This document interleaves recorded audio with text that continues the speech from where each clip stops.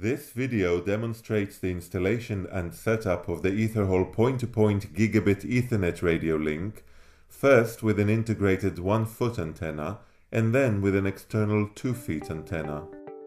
Here are the tools needed for the installation. A 13mm or half an inch open-end wrench is used to mount the bracket and a standard digital voltmeter is used to align the antenna. The mounting bracket is packed in a separate box. Unpack it and assemble as follows.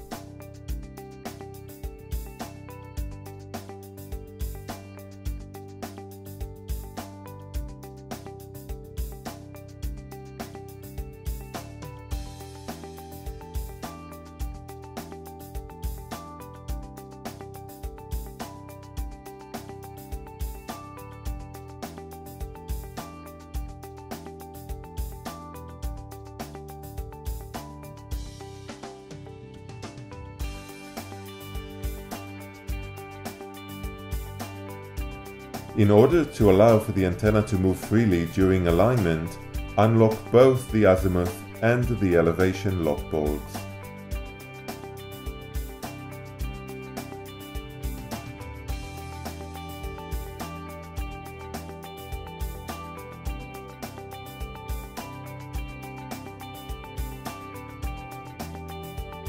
Install the mounting bracket onto a fixed reinforced steel mounting pole 2 to 4 inches in diameter. As part of the site survey, a clear line of sight will have been verified to the Remote Outdoor Unit, or ODU. Align the mounting bracket so that it points in the direction of this remote ODU. Confirm that the azimuth and elevation adjustment lock bolts are unlocked to allow free movement during alignment. Center the azimuth and elevation adjustment lock bolts at the middle of the scale.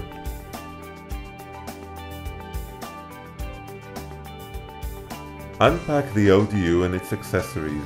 Carefully remove the ODU from its protective plastic bag. The antenna radome is treated with hydrophobic coating designed to repel raindrops. Use special care to avoid damaging or scratching this coating. Use the port designated PWR to connect the ODU to a DC power supply in the range of 21 to 57 volts. The port designated AUX includes sockets for digital voltmeter probes used during the alignment process, as well as a reset push button. Two or four active Ethernet interfaces are available depending on the hardware configuration of the ODU. These may be either electrical RJ45 or optical SFPs. Power over Ethernet connection is supported via the RJ1 port only. Ensure any Power over Ethernet device used complies with IEEE 802.3 AT. The link polarization is clearly marked with V and H for vertical and horizontal respectively. By default, the ODU is delivered ready for installation in the vertical polarization. If necessary, change the polarization by rotating the plate so the arrow points at the engraved letter H. To this end, use a 7mm hex socket driver. Mount the ODU onto the bracket using the quick release hooks and slide it firmly inwards.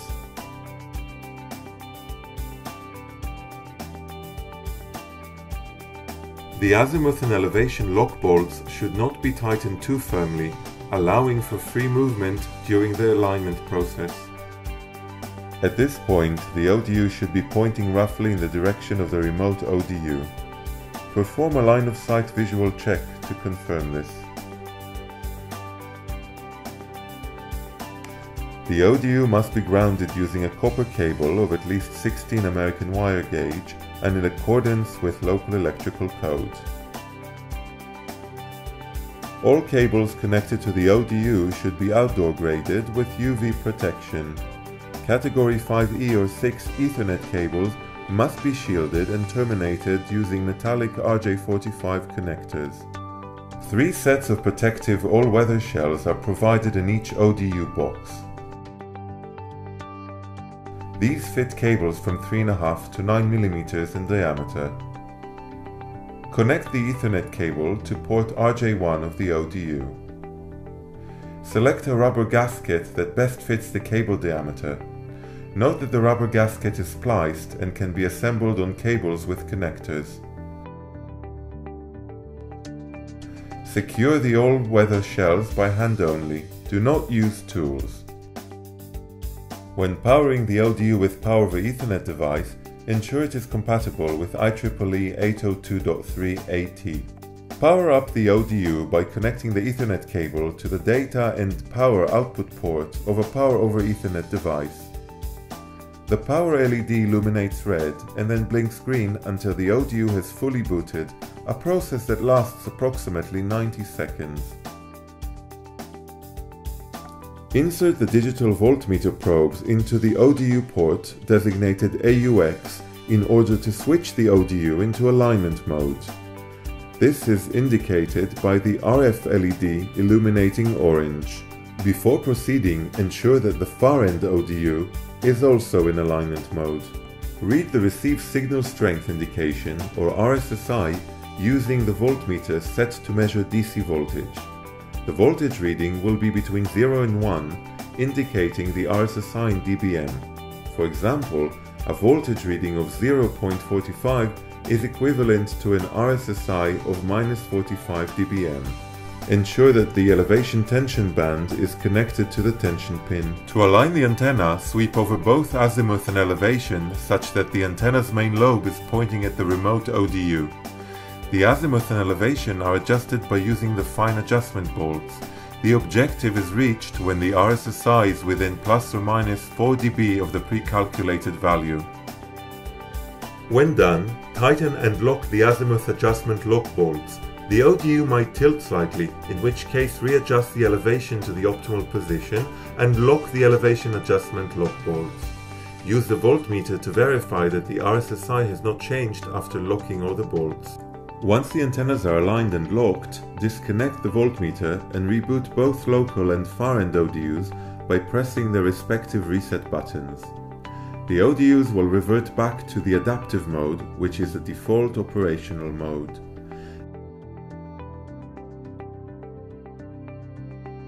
The RF LEDs on both ODUs should illuminate green, indicating the link is up. The radio link can now pass traffic and management between all ports and over the radio. For further radio link configuration, connect to the ODU using the web EMS.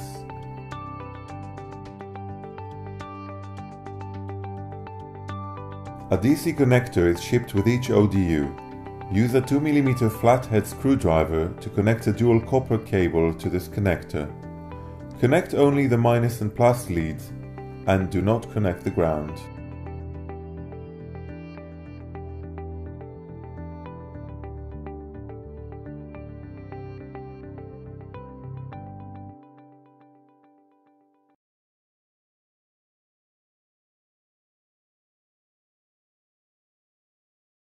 The mounting kit for the external 2 feet antenna is ordered and dispatched separately. Unpack the mounting kit and included accessories and assemble as follows. Please also consult the installation instructions found in the box. Insert the azimuth adjustment bolt and apply some of the included grease for friction-free alignment.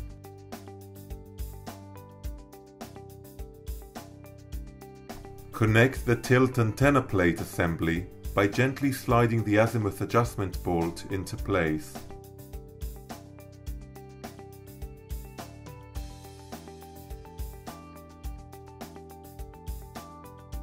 Use the azimuth lock bolts to secure the tilt antenna plate assembly.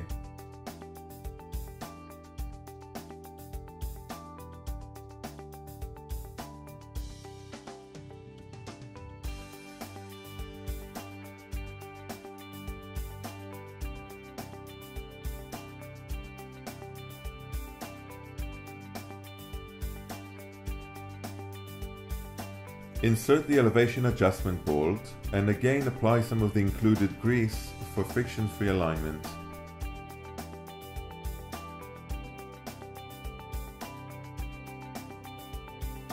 Connect the four mounting lock bolts that fit mounting poles of 2 to 4.5 inches in diameter.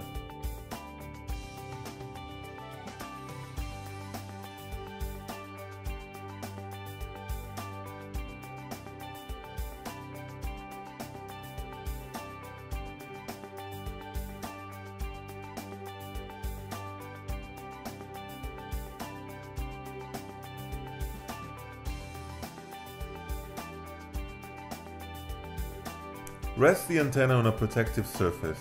You may use the packing material for this purpose. Attach the mounting kit to the antenna by gently sliding the elevation adjustment bolts into place.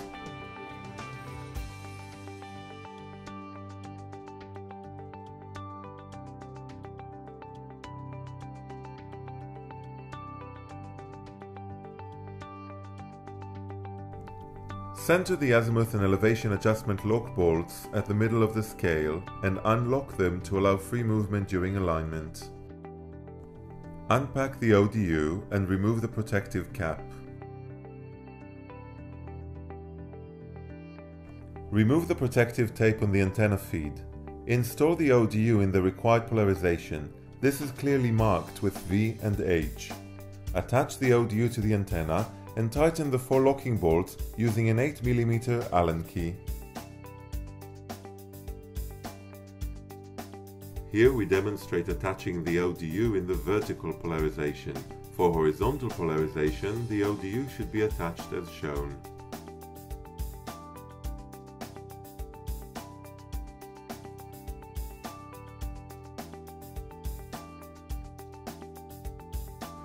Mount the antenna on the pole at this point, the ODU should be pointing roughly in the direction of the remote ODU.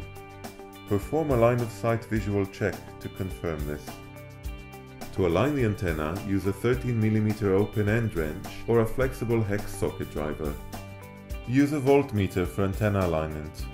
Once the expected receive level is achieved, within plus or minus 4 dB, lock the elevation and azimuth lock bolts. Use a voltmeter to verify that the received signal level has not changed after locking all the bolts.